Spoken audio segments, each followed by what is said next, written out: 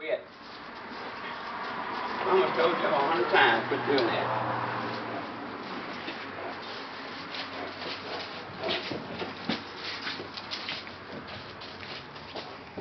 Oh, that's so cool.